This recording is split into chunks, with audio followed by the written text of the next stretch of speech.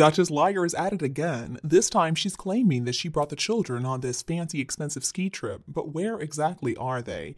And another thing is, come on, Meghan, you really think we're going to believe that you went skiing? Hello, friends, welcome to the King YouTube channel.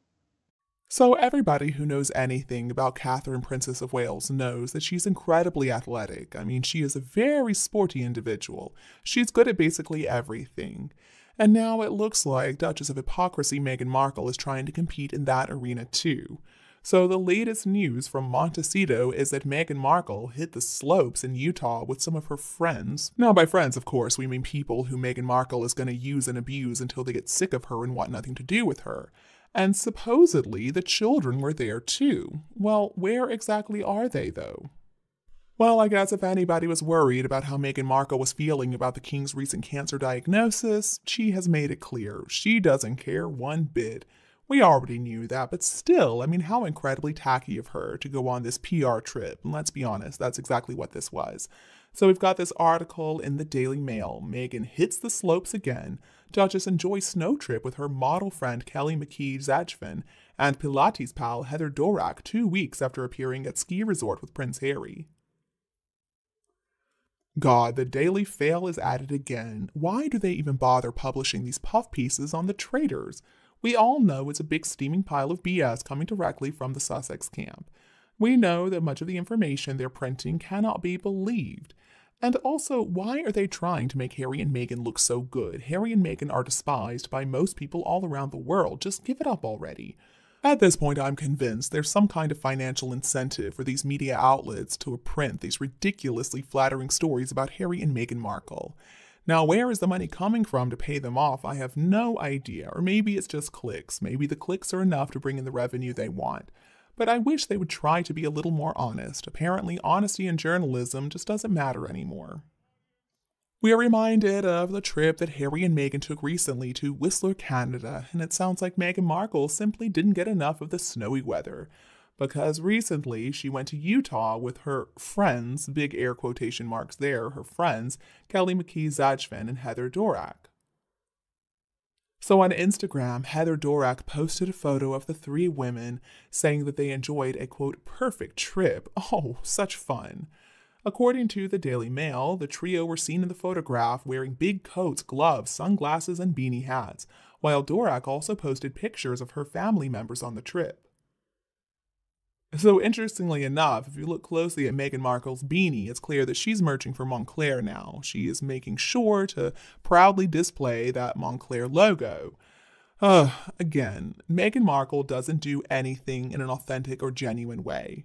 This trip was all about trying to drum up some good PR for herself. So Dorak posted this photo of the three women on Instagram and she wrote, Wow, what a perfect trip. My heart is so full. The kids crushed the slopes by day and the adults howled with laughter deep into the night. Truly lucky in love with our wonderful friends. The other one, the model, also shared that photo in an Instagram post of her own, and she wrote, Beyond grateful for the best of friends, what a trip! Thank you doesn't even begin to express what my heart is feeling after this trip. The love of family time and adventure and belly laughs made this trip one for the books. Here's to many more adventures with friends that feel like family and appreciating each day.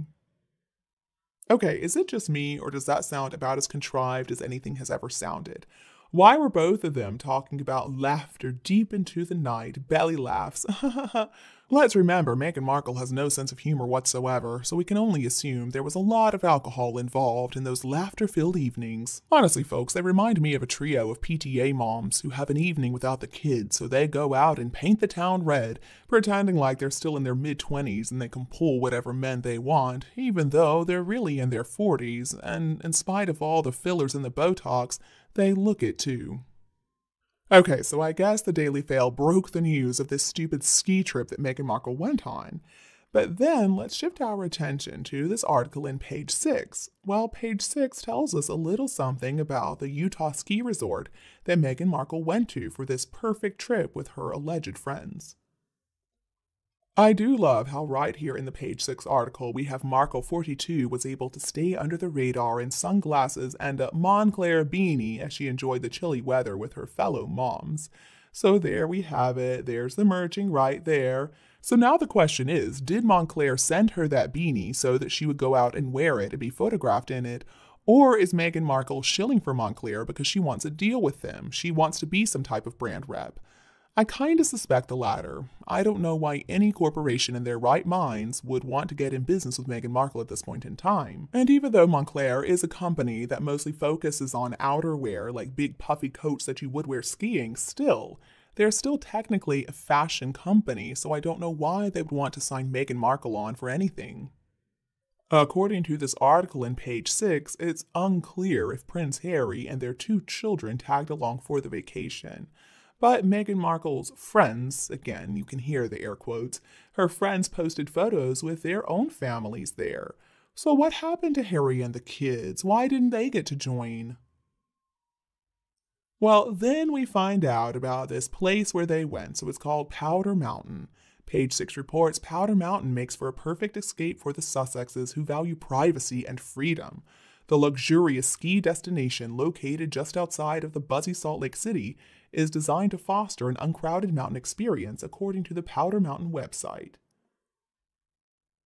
The website says with a reduced number of day passes and the most skiable acreage in the U.S., Powder Mountain gives you the space to be yourself while you experience the pure thrill and limitless adventure of Utah's majestic Wasatch Mountains.